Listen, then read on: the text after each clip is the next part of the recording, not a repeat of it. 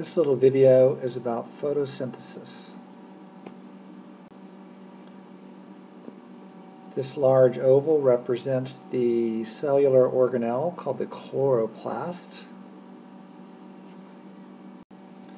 And we are going to divide this model into two parts separated by this black line.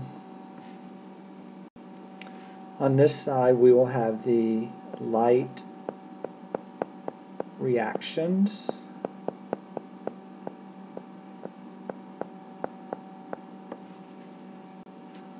While on this side we'll have the Calvin cycle.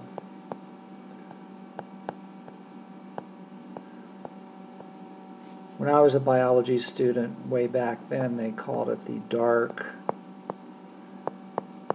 reactions. But now we know they don't really only happen in the dark. They can happen in the day or the night. The thylakoid membranes um, exist inside the chloroplast. And these are thin lipid membrane sacs where the chemical reactions of the light reaction take place.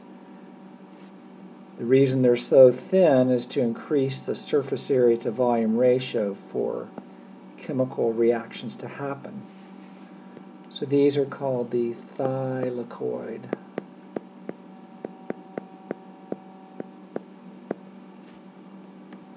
We'll get back to the thylakoids in just a minute.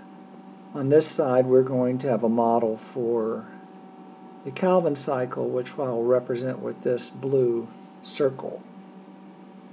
This is the part of photosynthesis that makes the simple plant sugars known as PGAL. One of the main inputs to get this ball rolling is sunlight, of course, which strikes the thylakoid. Oh. This is what makes plants so unique. They can capture energy from the sun. Right. Along with water as a second input, symbolize that like this.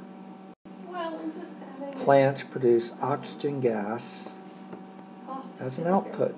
Yeah. Fortunately for us animals on the planet, we have plants. On the other side of our model, we have carbon dioxide gas, which enters into the Calvin cycle, Yeah.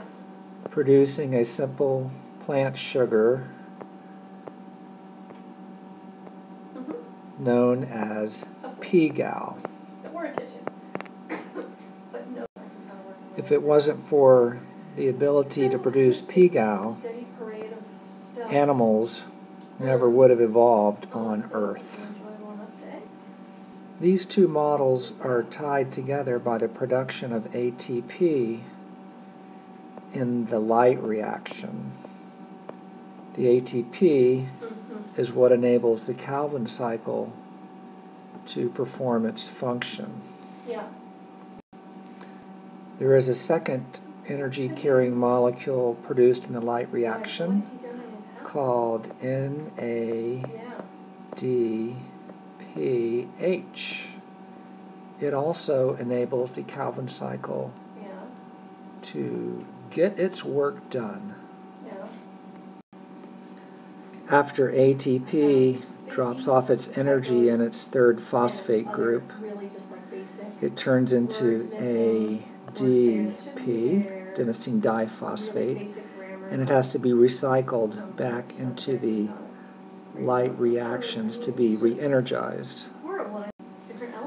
And the same basic idea holds true for the other energy carrier, Big box that's just in the middle. NADPH. It drops off its energy and it becomes NADP plus. It too gets recycled and recharged in the light reactions. So let's summarize the main goal from the plant's point of view is to make simple plant sugar. Mhm. This uses energy from the sun. And water and carbon dioxide. Yeah. notice that oxygen is considered a waste product, but fortunately for us animals, it's being made.